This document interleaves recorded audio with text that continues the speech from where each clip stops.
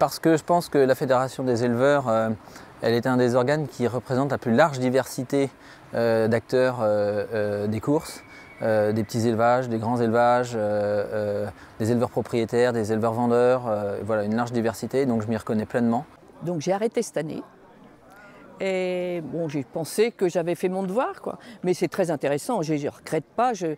Vraiment, c'est très enrichissant. Et puis je pense que quand on est passionné et comme on vit de ça, eh ben on, doit donner un peu de son temps à la fédération.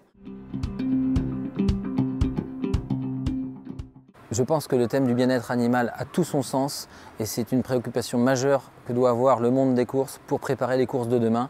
On ne peut pas nager à contre-courant des exigences sociétales en matière de bien-être animal. La Fédération des éleveurs s'investit depuis plusieurs années financièrement pour soutenir la vulgarisation de la reconversion. C'est vrai que le bien-être animal, de plus en plus maintenant, c'est vraiment au cœur de la, euh, des préoccupations de toutes les, du monde des courses. Comme vous le savez, donc, en tant que présidente d'Au-delà des pistes, je suis très euh, préoccupée et vraiment très proche de ce, de ce problème. France Gallo s'est préoccupée du problème.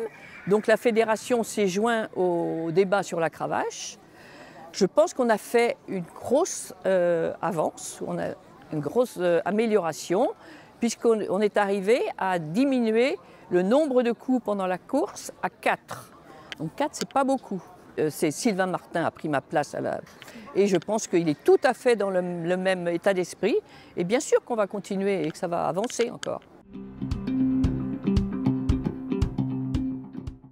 Le bien-être animal et courses ne sont surtout pas antinomiques puisque de toute façon on ne peut pas obtenir la performance chez un cheval s'il n'y a pas de bien-être animal.